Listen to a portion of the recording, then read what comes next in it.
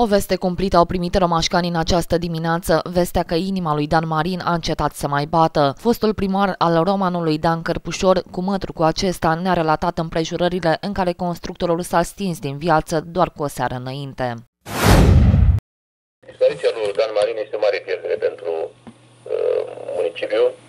A fost unul din oamenii care a avut o contribuție esențială la dezvoltarea acestui oraș și înainte de 89 și după 89. Uh, sunt profund îndurerat de uh, această pierdere, uh, transmit condoleanțe familiei și, din păcate, viața ne arată cât este de, de urâtă în anumite momente. Era, seara, era seara, el era într-adevăr bolnav de inimă, avea patru stenduri și avea și diabet insulinodependent. Stătea acasă la televizor, era se simțea foarte bine, se uita la televizor din fotoliu și când s-a trezit, când și-a dat seama soția seara că nu se mai ridică din fotoliu și a constatat de fapt că el decedase uitându-se la televizor. Și actualul primar Laurențiu Leoreanu are doar cuvinte de regret despre Dan Marin, cu care a fost coleg în PSD Roman și în Consiliul Local și de la care a avut multe de învățat din punct de vedere al administrației publice decât să transmit uh, condoleanțe familiei durerate. Dumnezeu să-l odihnească pe cel care a fost uh, Dan Marin, un om uh, implicat puternic în comunitatea romanțană, un om care a fost conducător de echipe, șef de șantier, consilier local, un om care cunoștea problemele municipiului roman, un om care a contribuit la dezvoltarea municipiului roman, un om sfătos, un om deschis, un om prietenos, un om care accepta atunci când uh, îi spuneai că nu are dreptate și aduceai argumente, un om care avea argumente pentru a demonstra anumite lucruri că sunt așa.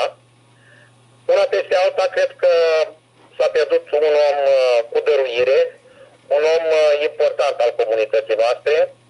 Dumnezeu să-l odihnească și să rămână amintirea vie în familie, între prieteni și comunitate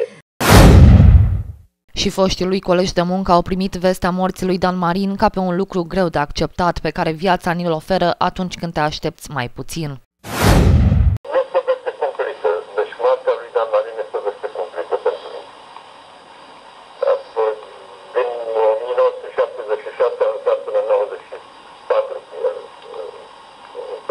donde no, uno necesita